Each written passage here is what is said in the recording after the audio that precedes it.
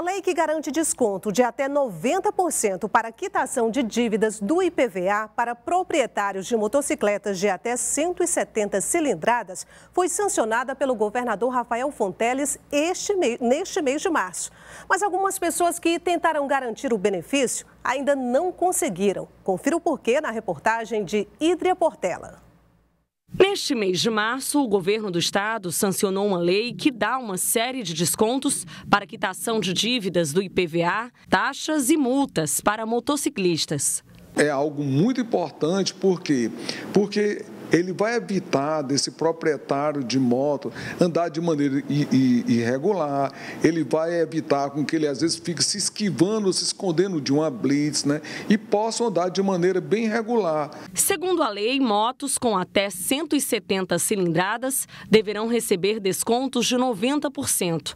O benefício estará disponível exclusivamente para quem realizar esses pagamentos à vista. Para aqueles que tenham é, débito do IPVA, então ele já pode acessar o site da Secretaria de Fazenda, já está disponibilizado desde a semana passada para aqueles que têm o débito do IPVA possam se regularizar pagando 10% do valor. A lei sancionada também beneficia aquele condutor que recebeu multa pelo não uso do capacete.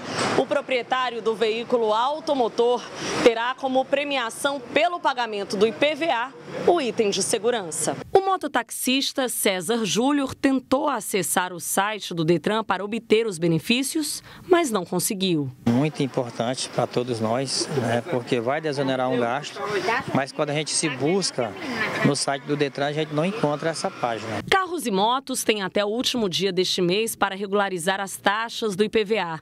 70% do valor arrecadado do imposto é destinado ao município que consta na placa do veículo e ao Fundeb.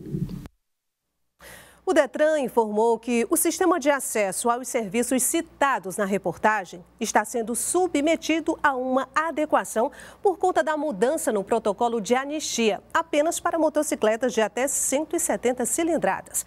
O órgão anuncia que todos os benefícios de anistia e descontos poderão ser acessados na plataforma a partir do dia 1 de abril, quando o usuário poderá realizar a adesão por meio do site ou nos postos de atendimento do Detran.